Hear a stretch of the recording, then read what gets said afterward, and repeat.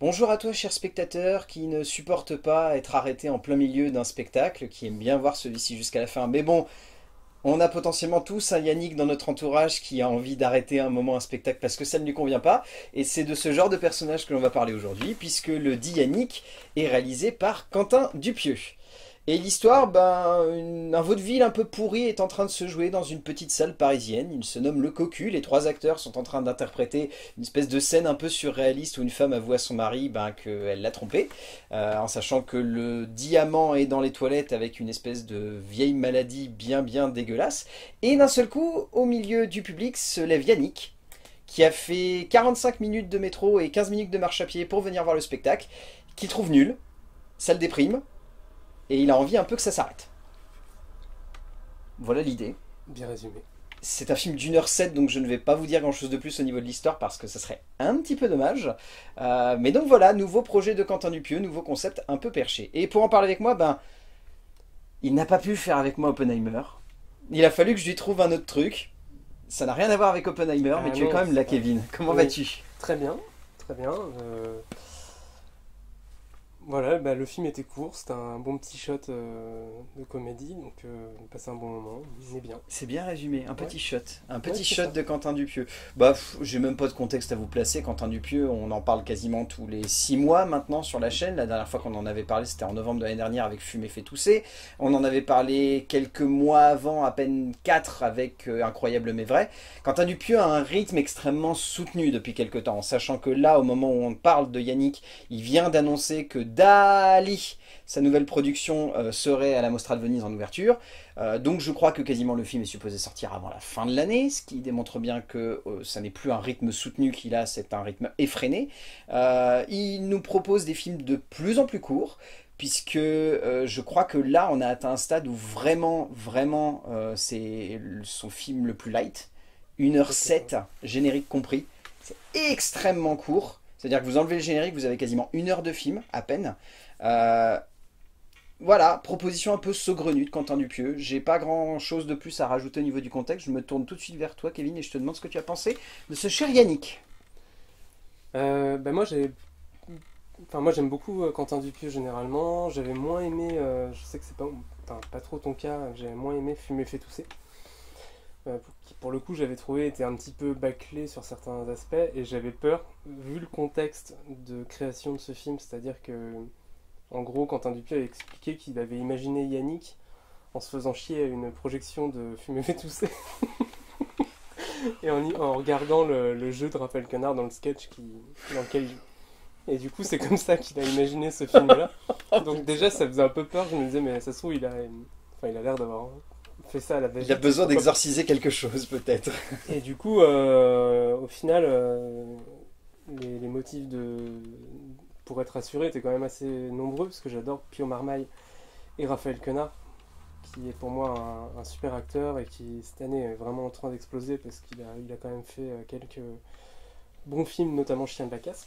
Ben, je crois qu'il en est à 4-5 films cette année où il Ouais. joue dedans. Que ce soit Ouais. des petits ou des gros rôles, c'est quand même costaud. hein. Bah oui, carrément.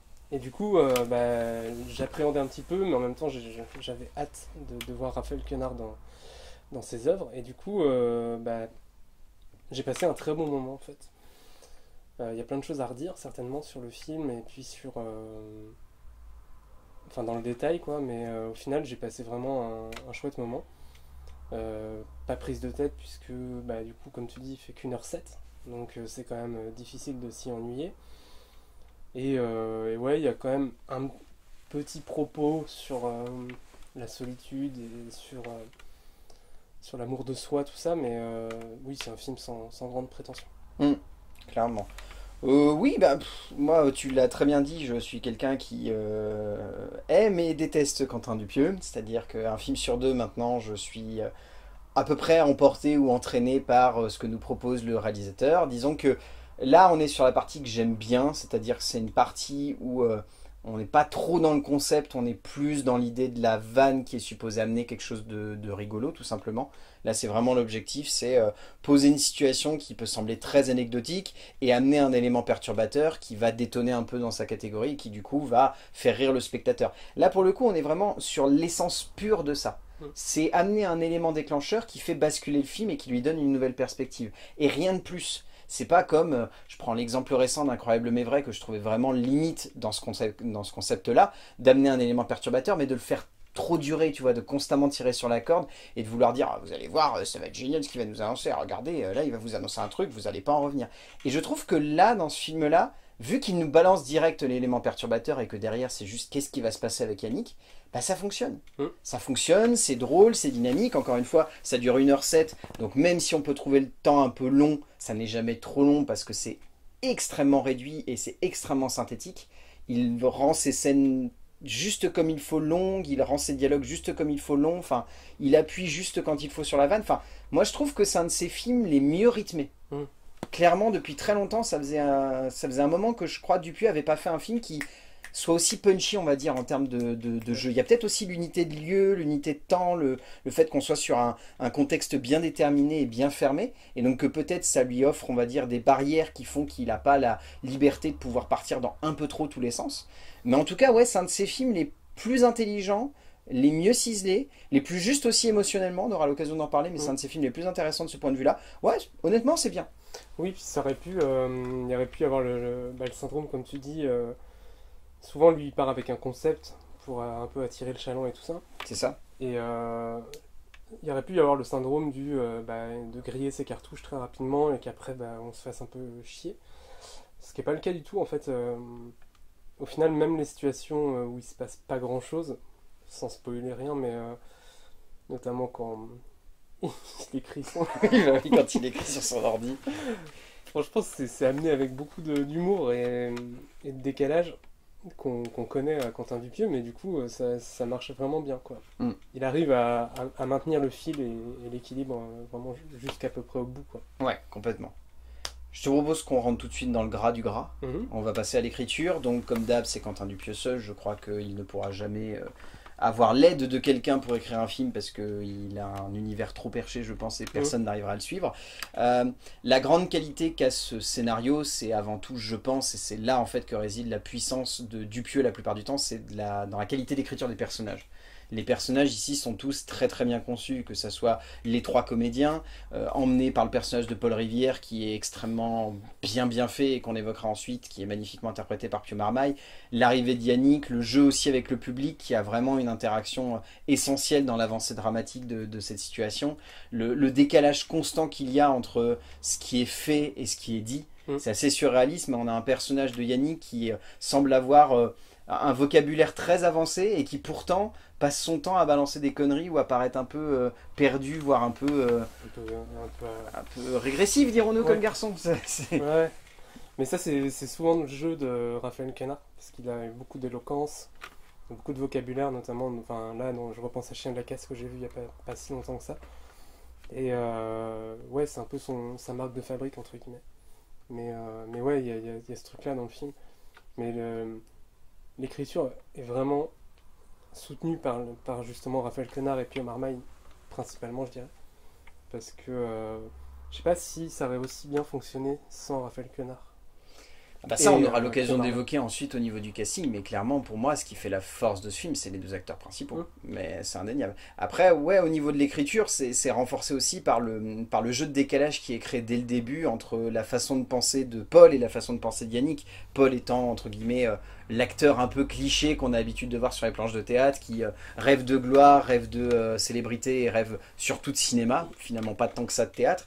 Et Yannick est juste un mec lambda qui a qui a pas envie de s'ennuyer en fait devant une scène de théâtre. Et c'est d'ailleurs assez rigolo comme réflexion. Enfin le fait que tu m'aies rajouté ce contexte où Dupieux et se soit ennuyé devant la projection d'un de ses propres films et que ça soit presque une exorcisation finalement de cette crainte d'ennuyer le spectateur. Parce que je pense que sous ces airs parfois de, de personnages un peu antipathiques fantasques un peu loufoques et, et décalés je pense que Dupieux a juste la crainte que tout le monde a lorsqu'on est un artiste et qu'on crée une œuvre d'art c'est que potentiellement il y ait des gens qui s'ennuient profondément Mm. devant ce qu'on écrit Ouais. et en un sens, s'il n'y a pas une immense profondeur scénaristique à évoquer ici, il y en a en tout cas une dans cette réflexion de je suis un auteur, mais est-ce que ce que j'écris est toujours aussi passionnant pour le tout un chacun Ouais. Et c'est peut-être ça la plus grande réussite de cette écriture, c'est d'avoir juste cette parabole qui est assez évocatrice pour transcender un petit peu cette vanne d'introduction qui est un mec qui arrête une pièce de théâtre parce que ça le fait chier. Mm.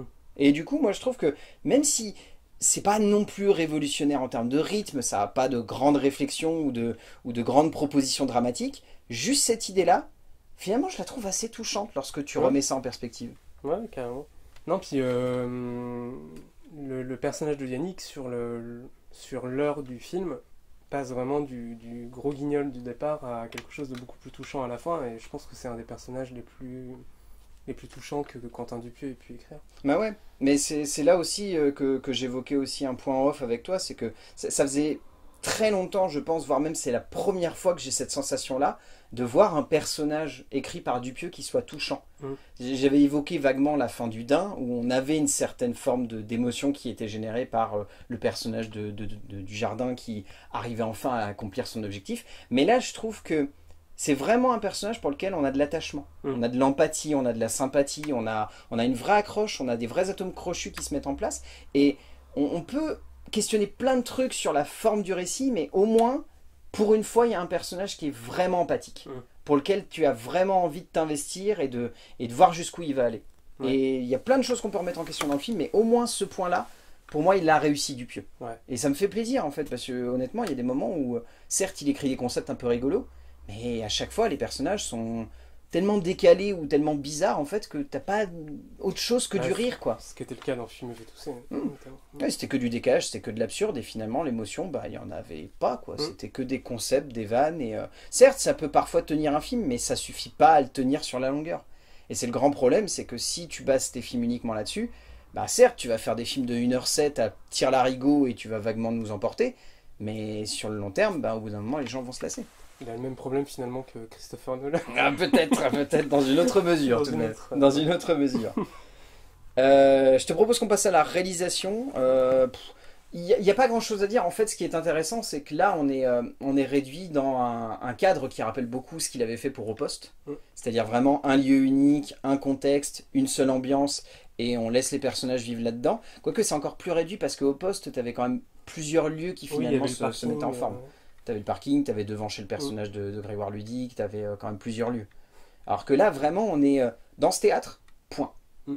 T'as rien d'autre, tu as aucun autre lieu, donc en un sens, c'est vraiment un, un Dupieux minimaliste à l'extrême qu'on retrouve ici. Ouais, il l'a tourné en 6 jours euh, le film, donc euh, c'est.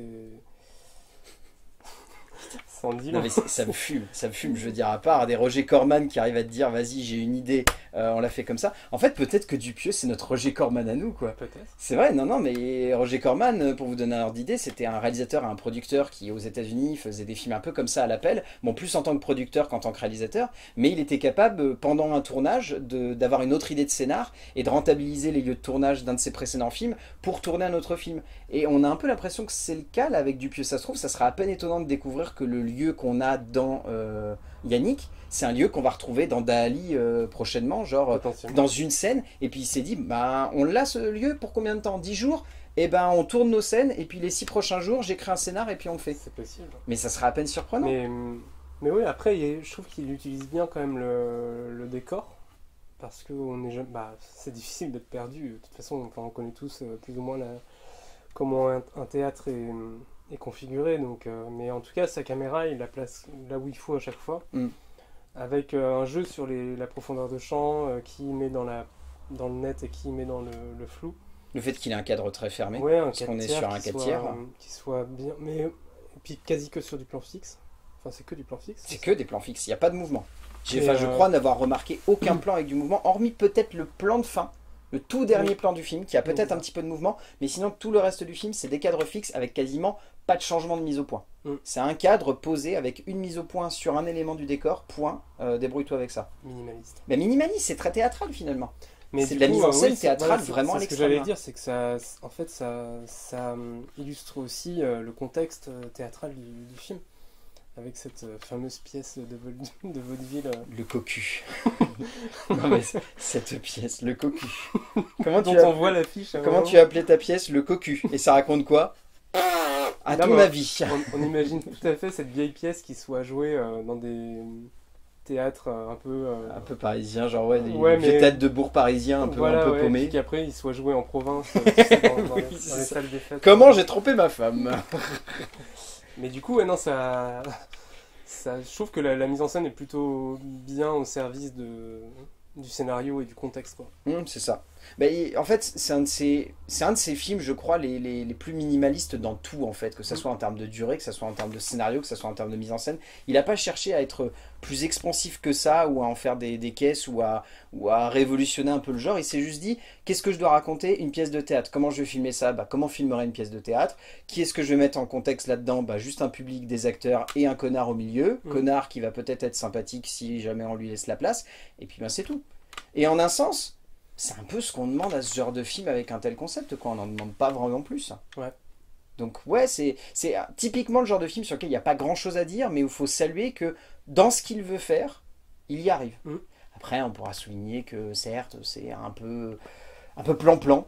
C'est le gros défaut que j'aurais à dire devant le film, c'est que c'est, euh, bah, certes, c'est divertissant, mais c'est très plan-plan. Heureusement que ça dure 1h07, hein, parce que honnêtement, ça cinéastes, on dirait plan-plan, mais chez euh, Quentin Dupieux, on peut dire un peu feignant. Quoi. Ah bah c'est fainéant, c'est fainéant. on a l'impression que. C'est vrai que c'est un peu condescendant, mais en un sens, je pense Ouais, que non, très pense que- foncièrement, c'est comme ça qu'il le pense. hein. Oui, mais je pense que lui-même en a conscience en fait d'être. euh, Voilà, il fait son truc et puis. tu, tu vois, j'aurais même été plus loin, j'aurais dit qu'il ça me bat les couilles. Ouais, peut-être. Il est, c'est un cinéaste bat les couilles. Quand tu me dis 6 jours de tournage pour tourner un truc d'une heure 7 avec euh, quatre acteurs vraiment principaux, Mm. une actrice secondaire et des gens dans la salle qui voilà, vont plus ou moins interagir, ouais, c'est, c'est, c'est un peu cinéaste, je m'en bats les couilles, mais, Mm. mais du bon, je m'en bats les couilles, quoi. C'est, c'est, c'est vraiment, on fait Oui, ça. parce qu'il est à côté de ça, il est très généreux aussi. euh, Oui, c'est ça. points, donc, euh, Puis encore une fois, c'est un point qu'on n'a pas trop évoqué, mais le film est drôle. Oui. Le film est drôle. C'est c'est vraiment des, des bonnes vannes, c'est vraiment une espèce d'ambiance, c'est une absurdité qui est pas trop loufoque, qui est toujours euh, juste terre à terre comme il faut, Mm. qui sait amener le personnage dans un retranchement, mais qui sait toujours lui faire prendre le recul nécessaire pour que on rigole, mais on rigole avec lui. Mm. Pas constamment que de lui. Certes, au début, on rigole de lui parce qu'on trouve ça surréaliste, que ce soit. euh, Excusez-moi, euh, non, mais parce que euh, j'ai fait un peu 45 minutes de route, mais faudrait pas se foutre de ma gueule. hein. C'est le fait juste d'amener ça comme ça, on se fout de sa gueule, et puis plus on avance, plus finalement tu On- trouves on sa démarche plutôt touchante. Mm. Parce que tu te dis, bah, est-ce que moi un jour j'aurais pas aussi envie de faire ça si jamais je m'ennuie? On peut pas le faire au cinéma, mais c'est vrai qu'en un sens, tu serais devant une pièce de tête qui serait mauvaise. Par logique, on aurait tendance à se taire et à attendre la fin et à dire à la fin, bon bah c'était de la merde. C'est, c'est, c'est le spectateur, entre guillemets, qui se cache en chacun de nous, qui à un moment, quand ça le fait chier, a envie de dire, vas-y, je m'en fous. euh, Ouais, c'est de la de merde, quoi. Ouais, c'est un, c'est un gros film défouloir qui, qui juste, euh, on va dire, fantas- fantasme un petit peu cet instant où on pourrait être capable de- d'envoyer les codes et les conventions et de se dire, bah si c'est de la merde, faut que je le dise quoi. Mm. Et qui de mieux pour le dire que Raphaël Quenard? Bah oui. Alors, bon, on peut déjà parler des acteurs secondaires, donc Sébastien Chassagne, Pio Marmaille et Blanche Gardin, qui sont tous les trois euh, très très bons. Agnès Surstel aussi également dans le rôle de la responsable du guichet qui est euh, très amusante. Elle a vraiment une petite scène qui cristallise très bien son personnage avec une imprimante, mais je trouve que ça porte vraiment bien l'esprit du protagoniste. Et, euh, et ouais, après je trouve que, bon, comme tu le disais un peu en introduction, c'est vrai que Pio Marmaille porte vraiment le trio qui est sur scène. Moi, quand, là, je, je- je me marre dans ma tête à, à- à, le voir rejouer le cocu. pas vrai. Quand tu vois là, sa façon de le jouer, de Ah, je, je- surjouer. je n'y crois pas, je n'y crois pas. Et, et ça, je trouve que c'est. Enfin, c'est ultra outrancier, tout ça, mais ça, marche super bien, quoi. Et, et en plus, enfin, Pio Marmaille, il- c'est typiquement le genre de personnage qu'il maîtrise à fond, quoi. Ah bah oui, bah il y a ce côté, euh, bah, ça se voit, Pio Marmaille, il l'a avoué d'ailleurs à plusieurs reprises, sur un tournage, il est très difficile à encadrer et à Mm. pleinement maîtriser, c'est quelqu'un de très expansif. Et ça se voit que là, il a dû trouver cet équilibre où justement on lui laisse assez de place pour être très expansif justement, mais toujours en se disant, faut que ça ait une cohérence par rapport à mon personnage.